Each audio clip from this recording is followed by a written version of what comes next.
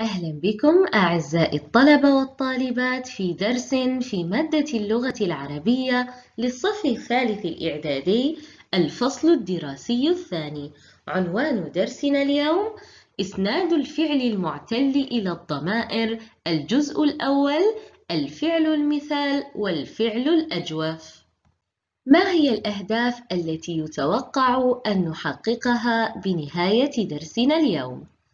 أولاً التمييز بين الفعل المعتل المثال والفعل المعتل الأجوف. ثانياً إسناد الفعل المعتل المثال والفعل المعتل الأجوف إلى الضمائر المتحركة والساكنة. ثالثاً توظيف الفعل المعتل المثال والفعل المعتل الأجوف في فقرة توظيفاً سليماً. تعلمنا فيما سبق أن الأفعال في اللغة تنقسم بحسب أنواع حروفها إلى قسمين. أولاً الفعل الصحيح. ما هو الفعل الصحيح؟ هو ما كانت حروفه الأصلية خالية من أحرف العلة وهي الواو، الألف، الياء. نأخذ مثالاً: جلس ألاحظ الفعل جلس.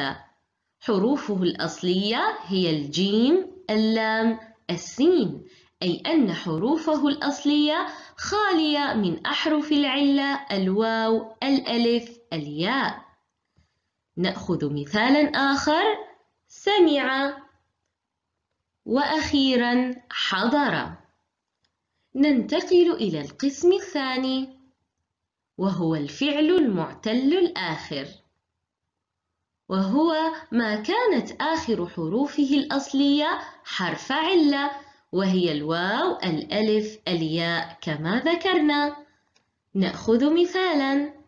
ألاحظ الفعل نما. انتهى بحرف من حروف العلة وهو الألف. الفعل سعى. ألاحظه أيضا. انتهى بحرف من حروف العلة وهو الألف أيضاً. وأخيراً رمى. كيف نستطيع تحديد أصل الألف في آخر الفعل المعتل؟ يكون ذلك من خلال طريقتين. الطريقة الأولى نأتي بمضارع الفعل. فنما مضارعه ينمو. نلاحظ أن الفعل في المضارع انتهى بواو أي أن أصل الألف في الفعل نما هو الواو. الطريقة الثانية نأتي بالمصدر الصريح. سعى مصدره سعي. نلاحظ أن آخر المصدر حرف الياء أي أن أصل الألف في الفعل سعى الياء. أقرأ الفقرة الآتية وألاحظ الكلمات الملونة. وصل الجيش مؤتة، وحين استشرف المسلمون عدوهم رأوا صفوفا لا آخر لها، وأعدادا تفوق الحصر، ونظروا إلى عددهم القليل فوجموا، وقال بعضهم: فلنبعث إلى رسول الله نخبره بعدد عدونا فإما أن يمدنا بالرجال وإما أن يأمرنا بالزحف فنطيع. بيد أن ابن رواحة دعا الجند إلى القتال قائلا إنا والله ما نقاتل أعداءنا بعدد ولا قوة وإنما نقاتلهم بهذا الدين الذي أكرمنا الله به. النشاط الأول أصنف الأفعال التي تحتها خط في الفقرة السابقة إلى أفعال صحيحة ومعتلة. لديكم ثلاث دقائق للإجابة عن هذا السؤال. والآن نستعرض الإجابة معاً أذكركم أعزائي الطلبة والطالبات في سؤال التصنيف أنه علينا أن ننظر إلى الحروف الأصلية للفعل حتى نستطيع أن نصنفه تصنيفاً صحيحاً. ألاحظ الفعل وصل. الفعل وصل بدأ بواو أي أنه بدأ بحرف من حروف العلة. لذا فهو فعل معتل الأول ويسمى مثال. الفعل رأوا فعل معتل الآخر لأن أصل الفعل رأى ويسمى فعل ناقص قال فعل معتل الثاني أي أجوف لأن الفعل الحرف الثاني منه هو الألف وهو حرف من حروف العلة. فلنبعث. أصل الفعل بعث. إذا فهو فعل صحيح لأن حروفه خلت من حروف العلة. نطيع. فعل معتل الثاني أي فعل أجوف لأن أصل الفعل طاع دعا فعل معتل الآخر لأن آخره حرف من حروف العلة ويسمى فعل ناقص. نقاتل فعل صحيح لأن الأحرف الأصلية للفعل قتل. وجموا فعل معتل الأول ويسمى فعلا مثال لأنه بدأ بحرف من حروف العلة وهو الواو. نستنتج أن الفعل المعتل ينقسم إلى ثلاثة أقسام. ما هي؟ أولاً الفعل المعتل الأول ويسمى مثالاً مثل وعد يئس. الفعل المعتل الوسط ويسمى أجوف. مثل سار صال ثالثاً الفعل المعتل الآخر ويسمى ناقصاً مثل بنى ودعا. أولاً الفعل المثال النشاط الأول. أحدد الفعل المعتل في الجمل الآتية ثم أكمل الجدول. لديكم أربع دقائق للإجابة عن هذا السؤال والآن نستعرض الإجابة معاً. الجملة الأولى يقف الطلاب بانتظام. أين الفعل المعتل في الجملة؟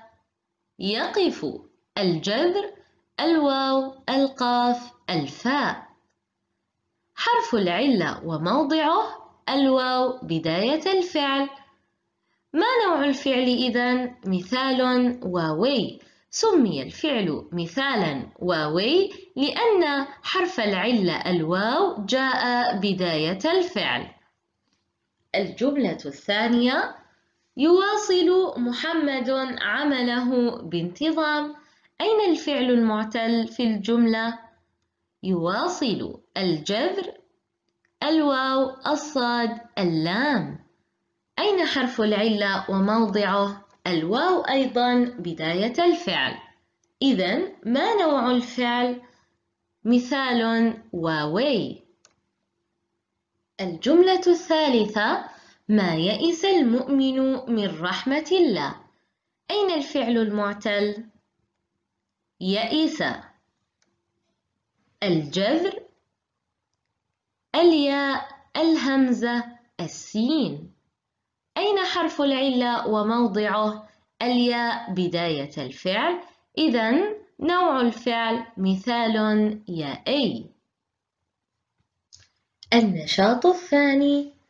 أسند كل فعل من الأفعال الماضية الآتية إلى الضمائر في الجدول الآتي. لديكم ست دقائق للإجابة عن هذا السؤال.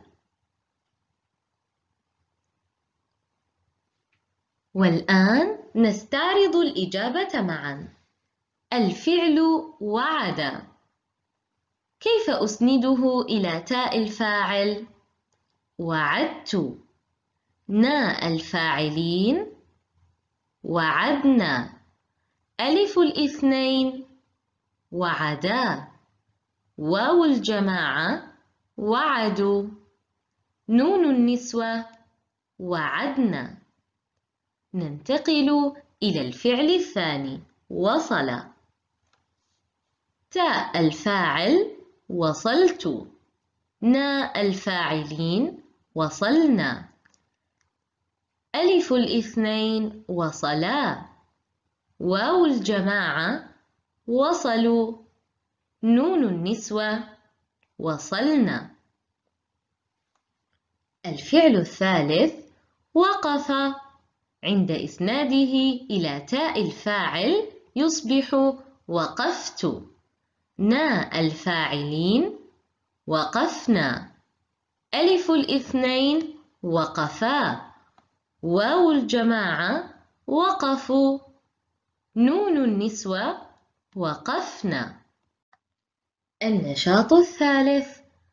أسند كل فعل من الأفعال المضارعة الآتية إلى الضمائر في الجدول الآتي. لديكم ست دقائق للإجابة عن هذا السؤال. هيا بنا نستعرض الإجابة الصحيحة معا. الفعل الأول يقع. عند إسناده إلى ألف الاثنين يصبح يقعان. واو الجماعة يقعون. ياء المخاطبة تقعين. أما نون النسوة يقعن. الفعل الثاني ييأس. عند إسناده إلى ألف الاثنين ييأسان. واو الجماعة ييأسون. ياء المخاطبة تيأسين. أما نون النسوة ييأسن. الفعل الثالث يعظ. عند إسناده إلى ألف الاثنين يصبح يعظان. واو الجماعة يعظون. ياء المخاطبة تعظين. وأخيرا نون النسوة يعظن النشاط الرابع. أحول الفعل الماضي المعتل الأول وقف إلى فعل أمر ثم أسنده إلى الضمائر في الجدول الآتي. لديكم ست دقائق للإجابة عن هذا السؤال. والآن لنستعرض الإجابة معا. وقف عند تحويله إلى فعل أمر يصبح قف وعند إسناده إلى ألف الاثنين يصبح قفا. وعند إسناده إلى واو الجماعة قفوا أما ياء المخاطبة قفي. وأخيرا نون النسوة قفنا. نستنتج أن الفعل المثال أي الفعل المعتل الأول إذا كان ماضيا أو مضارعا أو أمرا لا يحدث فيه أي تغيير عند إسناده إلى ضمائر الرفع المتصلة. علما وأن الواو تحذف من الفعل المثال عند تحويله إلى صيغة المضارع أو الأمر إذا كان ثلاثيا وصل يصل صل. وتبقى إذا كان غير ثلاثي واصل يواصل واصل. نأخذ مثالا وعد عند إسناده إلى ضمائر الرفع المتصلة. يصبح وعدت وعدنا وعدا وعدوا وعدنا. الفعل المضارع يعد عند إسناده إلى ضمائر الرفع المتصلة يصبح يعدان يعدون تعدين يعدن.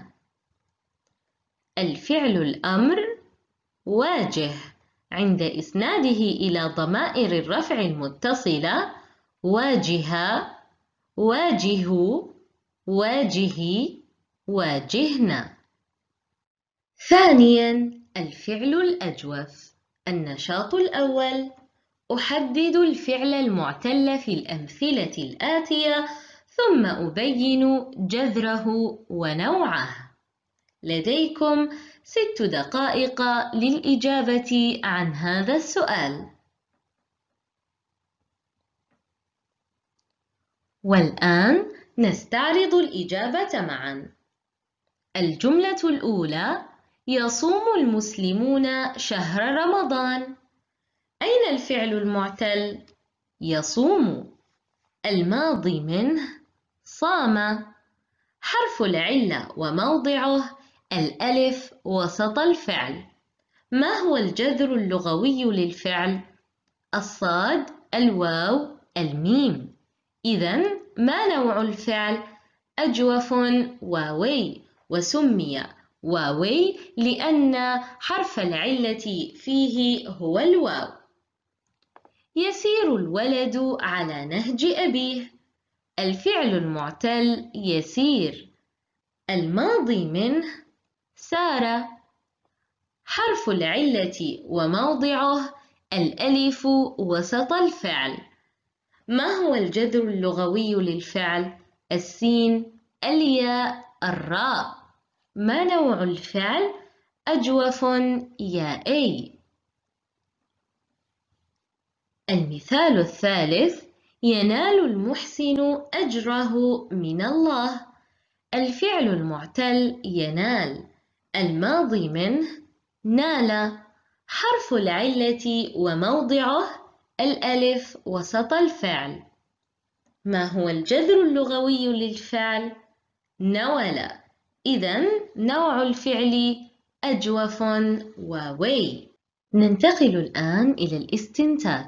أستنتج أن الفعل الأجوف نوعان واوي وهو ما كانت الألف فيه منقلبة عن واو صال صول.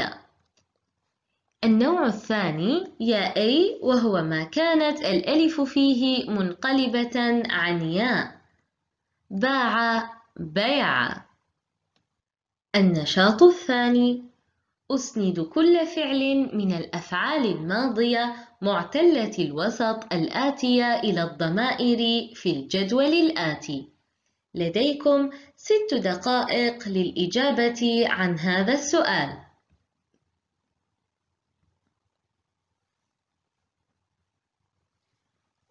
والآن نستعرض الإجابة معاً. الفعل الأول ساد. عند إسناده إلى تاء الفاعل يصبح سدت. نا الفاعلين سدنا. ألف الاثنين سادا. واو الجماعة سادوا. نون النسوة سدنا. الفعل الثاني باع. عند إسناده إلى تاء الفاعل بعت نا الفاعلين بعنا ألف الاثنين باعا واو الجماعة باعوا أما نون النسوة بعنا. الفعل الأخير قال عند إسناده إلى تاء الفاعل يصبح قلت نا الفاعلين قلنا ألف الاثنين قالا واو الجماعة قالوا نون النسوة قلنا. نستنتج أن الفعل الماضي الأجوف يحذف وسطه إذا أسند إلى ضمائر الرفع المتحركة تاء الفاعل ناء الفاعلين ونون النسوة. أما إذا أسند إلى ضمائر الرفع الساكنة ألف الاثنين واو الجماعة فلا يحذف وسطه أي لا يحدث فيه أي تغيير. النشاط الثالث. أسند كل فعل من الأفعال المضارعة معتلة الوسط الآتية إلى الضمائر في الجدول الآتي. لديكم ست دقائق للإجابة عن هذا السؤال. والآن نستعرض الإجابة معاً. أولاً يقود. عند إسناده إلى ألف الاثنين يصبح يقودان. واو الجماعة يقودون. ياء المخاطبة تقودين. أما نون النسوة يقدن. الفعل الثاني يسير. عند إسناده إلى ألف الاثنين يسيران.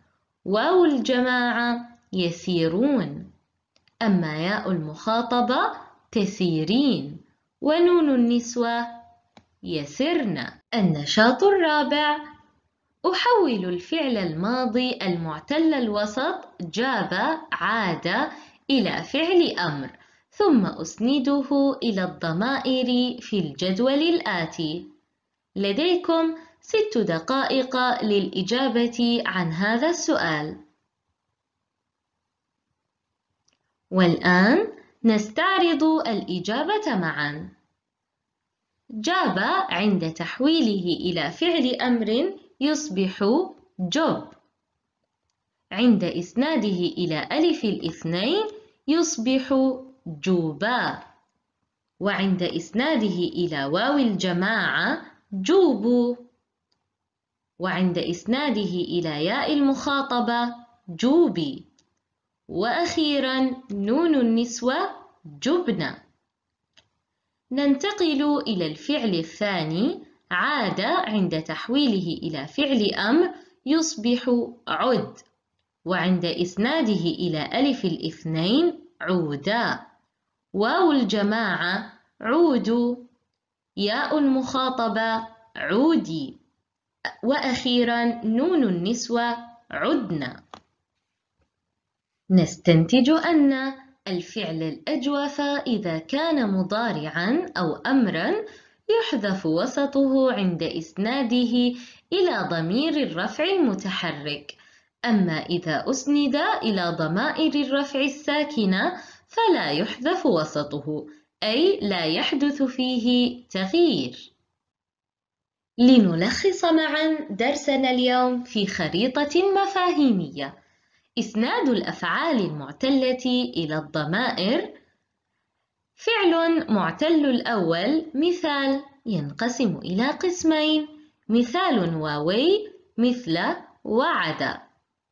ومثال يائي مثل يئس الفعل المثال إذا كان ماضيا أو مضارعا أو أمرا لا يحدث فيه أي تغيير عند إسناده إلى ضمائر الرفع المتصلة.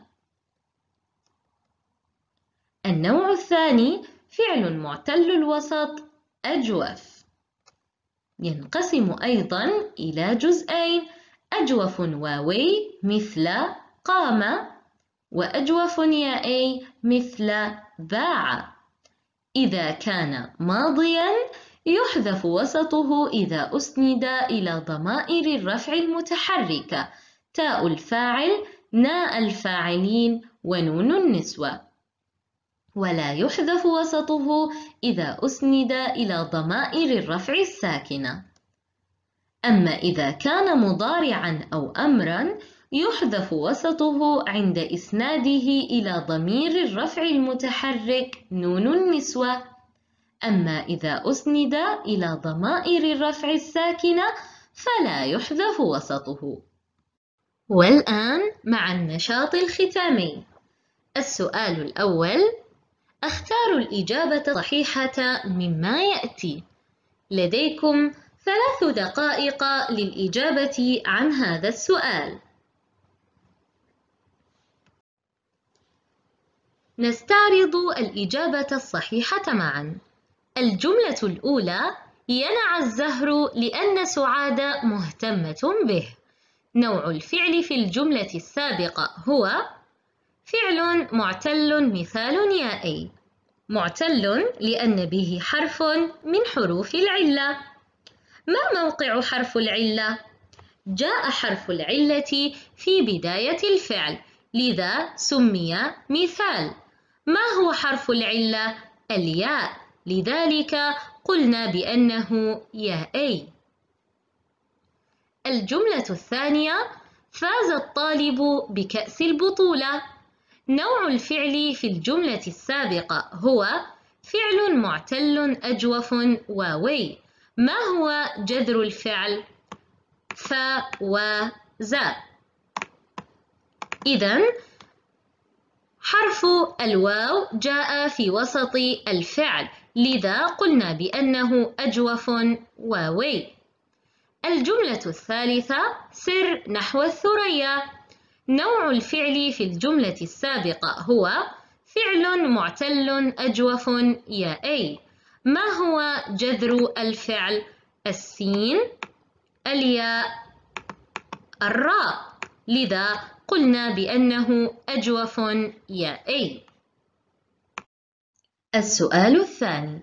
أقرأ الفقرة الآتية ثم أستبدل بكلمة المرأة كلمة النسوة وأغير ما يلزم. لديكم ست دقائق للإجابة عن هذا السؤال.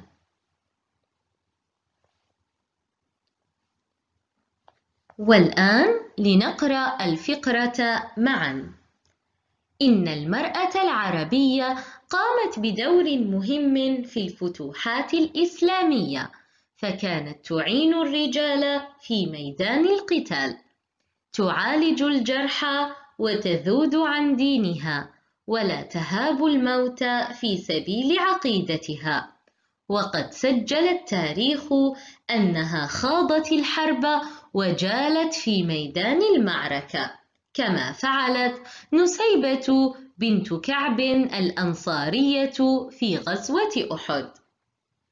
عند استبدال كلمة المرأة بكلمة النسوة تصبح الإجابة إن النسوة العربيات قمن بدور مهم في الفتوحات الإسلامية.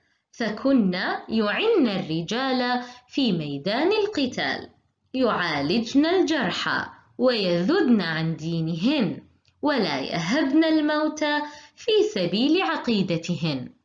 وقد سجل التاريخ أنهن خضن الحرب وجلن في ميدان المعركة كما فعلت نسيبة بنت كعب الأنصارية في غزوة أحد. السؤال الثالث. أخاطب بالعبارة الآتية المفرد المؤنث والمثنى والجمع بنوعيهما مغيرا ما يلزم. لديكم أربع دقائق للإجابة عن هذا السؤال. والآن نستعرض الإجابة الصحيحة معا. صن نفسك عن الحسد تعش مرتاح الضمير. عند تحويله إلى المفرد المؤنث نقول صوني نفسك عن الحسد تعيشي مرتاحة الضمير. في حالة المثنى نقول صونا نفسيكما عن الحسد تعيشا مرتاحي الضمير. جمع المذكر صونوا أنفسكم عن الحسد تعيشوا مرتاحي الضمير.